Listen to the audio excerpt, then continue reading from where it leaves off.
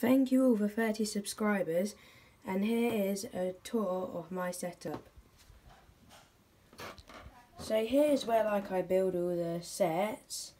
So that's like where you've seen stuff like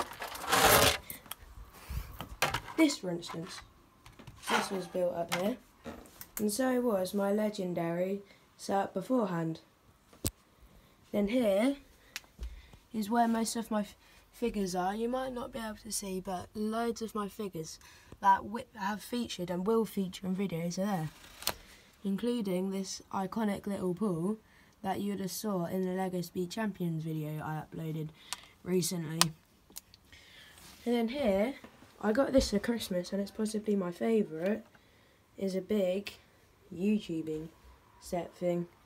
So you press this button, it's not plugged in at the minute, but you press this button, it goes on, then you can change the lighting with this, and this. Here's a montage of. So here it is on. This is the one I use the most and is in the misbehaving Lego guy. It's back to normal. We're going to dim the light now. Then brighten it again. And that's about it that it can do. Now here's green screen that I'm yet to use. I'm very excited to use this. We've just got to get the right apps. And then, as I am like the biggest Man United fan ever, here's like one of my lucky charms that I hope gets me subscribers that I got for Christmas.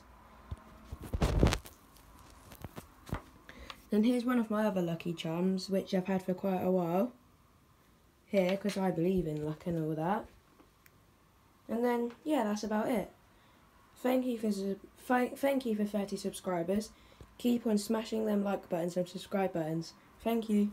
Bye.